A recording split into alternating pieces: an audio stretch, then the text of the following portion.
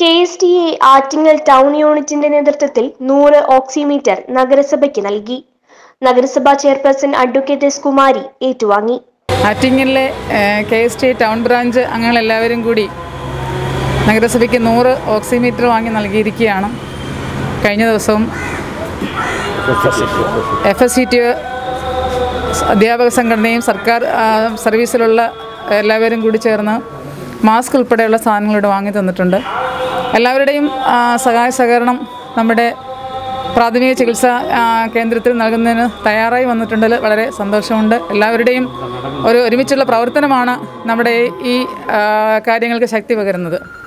Unit secretary Rajitha Rajesh S Satheesh Kumar K Baiju Anilkumar C V Manoj vice chairman G Thulaseedharan Pillai ആരോഗ്യകാര്യ standing committee chairperson Ramya വിദ്യാഭ്യാസ standing committee chairperson Girija തുടങ്ങിയവർ ചടങ്ങിൽ സന്നിഹിതരായിരുന്നു. H P news Attingal.